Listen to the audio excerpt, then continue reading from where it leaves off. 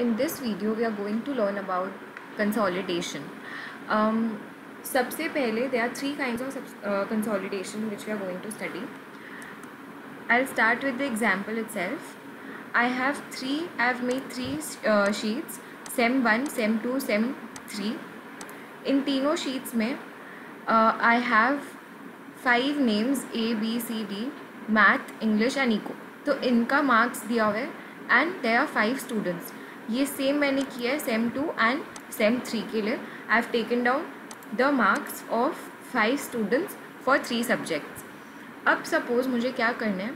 Now I want to get the sum of suppose A in math for all the three semesters together in one particular sheet तो मुझे क्या करना है? एक aggregate consolidated table बनाना है.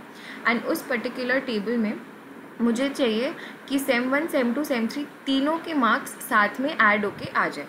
तो उसके लिए सबसे basic what we'll do is three D sum now what is the difference between two D and three D sums अभी तक जो भी हमने किया that was two D sums जैसे यहाँ पे if I am calculating the sum of this particular column और if I am calculating the sum of this particular row तो वो जो आंसर आता है that is the two D sum three D sum क्या होता है? When you are calculating the sum of the entire table together considering different tables together तो अब हम लोग क्या करेंगे? थ्री डी सम मैंने एक शीट बनाया इस शीट में आएँगे।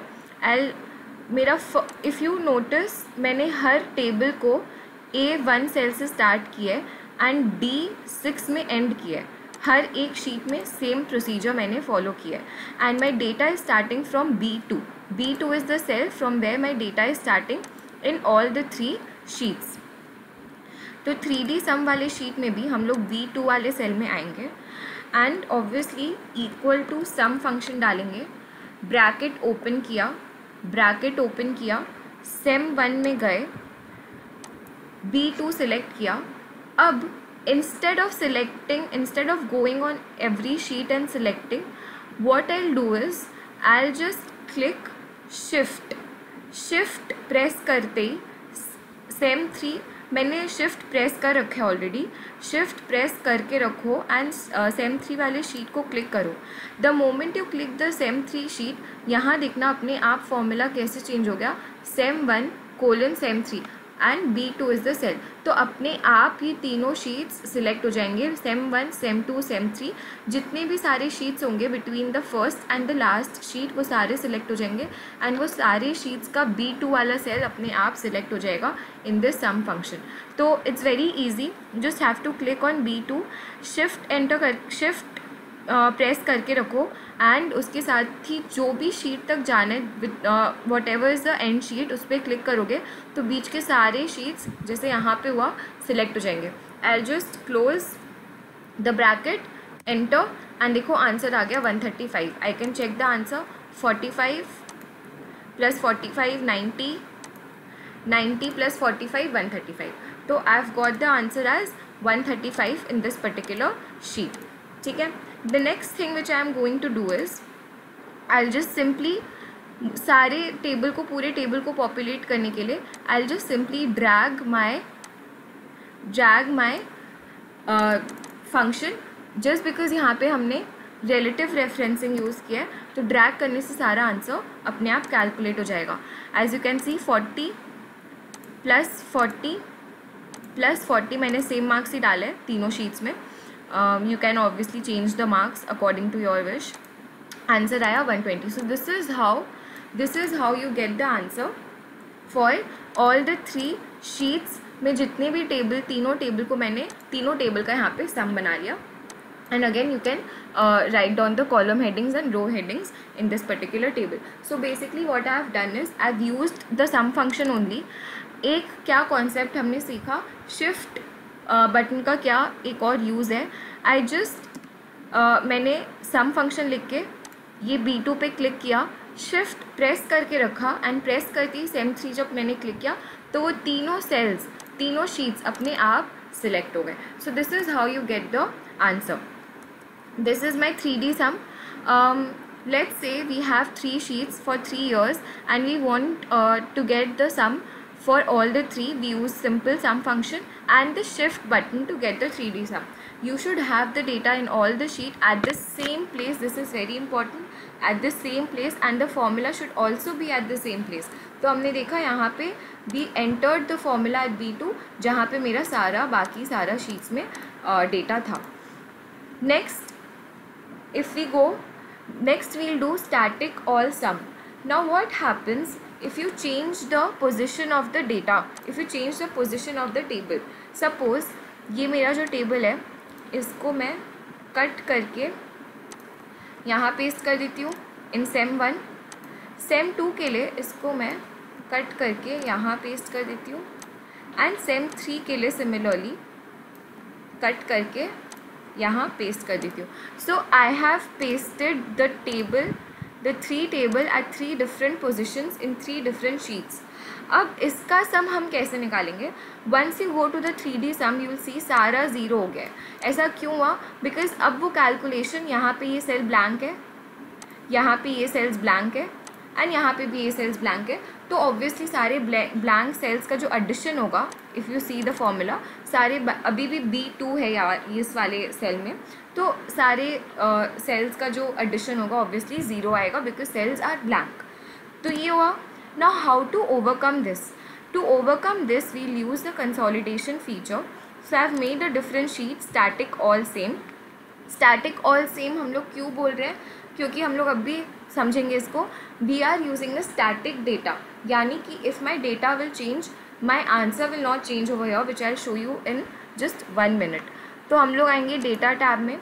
Now this is very easy suppose मुझे ए वन यहीं पे अपना पूरा आंसर चाहिए. I have clicked on A one consolidation consolidate data tab consolidate now यहाँ पे जो एक डायलॉग बॉक्स ओपन हुआ you can select whatever function you want to हम लोग को अभी सम निकालना है so we'll select on the sum अब रेफरेंस है, तीन जगह से हमें रेफरेंस लेना है because we have three different sheets तो हमने सिलेक्ट करना है, हम सेम वन में जाएँगे and this is our entire reference पूरे टेबल को सिलेक्ट किया. इस पर इस एरो पे क्लिक करो. दिस पर्टिकुलर थिंग शोज़ कि आप इस पर्टिकुलर ड्रॉप डाउन के लिए इस पर्टिकुलर आंसर के लिए you can select the cells from the Excel sheet तो ये जो है, ये जो आपको दिख रहा है, एक छोटा सा बटन बेसिकली ये होता है, आपको अगर एक्सेल शीट से अपना सेल्स सिलेक्ट करना है तो आप सेल सिलेक्ट कर सकते हो। If you want to browse into different sheets अगर आपको कंसोलिडेट करना है your data from different sheets with different workbooks तो वो भी कर सकते हैं यूजिंग द ब्राउज ऑप्शन तो इससे क्या होगा, इससे obviously you will get one particular you open you can open any particular sheet उसमें जाके आप वहाँ से सिलेक्ट कर सकते हो। एक, कोई भी वर्कबुक से आप अपना डेटा एक्सट्रैक्ट कर सकते हो। सो दिस वॉज़ देर इसको हम ऐड कर देंगे। ये हमारा सेम वन था। सेकेंड आ जाएगा हमारा सेम टू का टेबल इसको सिलेक्ट करेंगे। ऐड कर दिया। नेक्स्ट हम लोग करेंगे सेम थ्री इसको सिलेक्ट करके ऐड कर दिया। तीनों को अब हमने ऐड कर दिया अपने शीट में। अब देखो, एक और ऑप्शन क्या है? यूज़ लेबल्स इन इसका बेसिकली क्या मतलब है? कि क्या हमें लेबल्स को ऐड करना है? तो जो कॉलम हेडिंग्स है these are the column headings कि इसको आपको ऐड करना है कि नहीं? ऑब्वियसली इसको ऐड नहीं करना हमें। या फिर ए बी सी आप इसको ऐड करोगे कैसे? Name plus name plus name no uh, कोई मतलब नहीं है इस चीज़ का। तो क्या कॉलम हेडिंग्स ऐड करना है? क्या रो हेडिंग्स ऐड करना है? तो उसको ऑब्वियसली ऐड नहीं करना। या फिर ये होता है so that you can get your answer with the column and the row headings so I just tick on top row and left column okay किया and see have got the answer अब यहाँ पे क्या हुआ है? देखो just a little bit of difference यहाँ पे एक नेम का ऑप्शन था। एक नेम मैंने डाला था यहाँ पे एज अ कॉलम हेडिंग वो कॉलम हेडिंग यहाँ पे नहीं आया। वो पर्टिकुलर कॉलम हेडिंग यहाँ पे नहीं आया बिकॉज़ हमने क्या किया था? Basically these are the column headings जो हमें ऐड नहीं करना है। तो वो हमें जो ऐड नहीं करना है, जो तीनों शीट्स में हमारा कॉलम हेडिंग्स होगा, वो तीनों एंड जो हमारा रो हेडिंग्स होगा, एकदम लेफ़्ट मोस्ट कॉलम में एंड एकदम टॉप मोस्ट रो में, वो हमारे शीट में यहाँ पे डिस्प्ले करेगा। इसका यूज़ नहीं है, ये यहाँ पे नहीं आएगा बिकॉज़ ये इसका कोई यूज़ नहीं था हमारे टेबल में। सो दिस इज़ देयर अगर उसको हम लोग टिक नहीं करते तो ये पर्टिकुलर सेल्स यहाँ पे नहीं आते। मेरा आंसर सिंपली ऐसे डिस्प्ले हो जाता। So this I have got the answer एक बार चेक करेंगे। Forty five plus forty five ninety plus forty five one thirty five so I have got my answer as one thirty five so this is how you can get, you can consolidate your data when your data is not at the same position in all the three sheets. 3D sum में हमने क्या किया कि it should be on the same position and static और same में हमने क्या किया कि सेम पोजिशन पे अगर नहीं है हमारा table so how can you consolidate your data how can you take out the sum you saw कि sem one sem two sem three तीनों शीट्स में हमारे टेबल्स डिफरेंट जगह पे थे, फिर भी we got the answer correct अब एक दूसरा point which I show you उसके पहले just go through the slide now what if the data changes its place in the original sheets use consolidation from the data tab choose the function you want जो हमने sum function किया. Cell references choose करो, जो हमने sem one sem two sem three से select करके add on किया. If you if you want to change the data in any sheet the final answer will not update अब ये जो एक ट्रिक है ये क्या है समझो? सपोज़ सेम वन वाले शीट में फोर्टी फाइव है लेट्स मेक इट फोर्टी तो क्या होना चाहिए? हमने फाइव लेस किया। हमने फाइव लेस किया। तो यहाँ पे answer should have been one thirty एक बार वापस दिखा दूँ, ये फोर्टी है ए का मैथ का marks plus forty five which is eighty five plus forty five which is one thirty so it should have come to one thirty but ये चेंज नहीं हुआ, ये स्टिल वन थर्टी फाइव ही है। यानी कि when you use static all same यानी कि इसमें स्टैटिक है हमारा data if the original source data changes the output will not change the output will never change even if the source data changes तो इसको ओवरकम करने के लिए there is another feature which we use which is linked all same linked all same consolidation हम use करेंगे। Same procedure है we'll go to cell A one we'll click on consolidate we'll click on consolidate data tab consolidate sum function choose करना है। वापस हम लोग अपना सारा सेल रेफरेंसेस सिलेक्ट करेंगे। This is how you add the cell references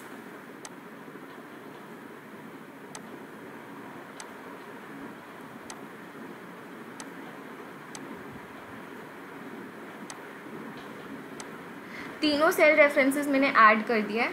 Top row left column and यहाँ पे एक और ऑप्शन है create links to source data तो ये जो हमारा सोर्स डेटा था sem one sem two sem three में these three were the source data इससे हमें लिंक करना है अपने आउटपुट डेटा को। यानी कि अगर हमारा सोर्स डेटा चेंज होगा तो लिंक डेटा भी हमें चेंज करना है। So I just tick on this create links to source data okay press करेंगे। एंड देखो हमारा शीट चेंज हो गया है। Now it has come to one thirty I just show you I just change this to forty five again and we'll check कि ये forty five change होने से सेम वन में फोर्टी फाइव वापस मैंने कर दिया। चेंज होने से क्या हमारा आंसर यहाँ पे चेंज हो रहा है? येस yes, हमारा आंसर वन थर्टी फाइव हो गया। Again I show you sem one को I let's make it fifty तो क्या होना चाहिए? It should now become one forty it should now become 140 and it has become 140 this was the thing with linked all same consolidation. एक और feature जो आपको यहाँ दिख रहा होगा ऑन द लेफ़्ट साइड कि यहाँ पे दो बटन्स आ गए वन और two basically this is the first sheet two पे जब आप क्लिक करोगे तो आपको देखो एक एक्सटेंशन मिल गया. I make I make you understand ये इसका क्या मतलब है. Suppose these are the names and these are the subjects right तो अगर मैं यहाँ पे प्लस पे क्लिक करूँ तो इस पर क्लिक करने से क्या हो रहा है देखो? New Microsoft Excel worksheet fifty forty five forty five इसका टोटल आ रहा है वन फोर्टी बेसिकली जो तीनों शीट्स हैं sem one sem two sem three उन तीनों शीट्स में क्या वैल्यू है? हमारे सोर्स डेटा का क्या वैल्यू है? उसका एडिशन क्या आ रहा है विच इज़ वन फोर्टी तो यहाँ देखना, एक चीज़ instead of the sheet name यहाँ पे sem one sem two sem three आना चाहिए था। इंस्टेड ऑफ़ दैट यहाँ पे क्या आ रहा है? यहाँ पे मेरे वर्कबुक का जो नेम है न्यू माइक्रोसॉफ्ट एक्सेल वर्कशीट वो यहाँ पे आ रहा है लिखा हुआ instead of the sheet name तो हमेशा याद रखना इन कंसोलिडेशन क्या आता है? यहाँ पे when you click on the plus sign इससे यू कैन गेट कि ये आंसर 140 कहाँ से आ रहा है? What is your source data and source data कौन से वर्कबुक से है? ऑब्वियसली आपको वर्कशीट नहीं पता चलेगा। वर्कशीट नहीं पता चलता। वर्कबुक पता चलता है। This is because generally we consolidate from different workbooks so you can do that as well मैंने दिखाया था। ब्राउज ऑप्शन पे क्लिक करके you can browse to different workbooks to get the data from अब यहाँ हम लोग चेक कर लेते हैं। सेम वन में it is fifty sem two में it is forty five sem three में इट इज़ फोर्टी फाइव।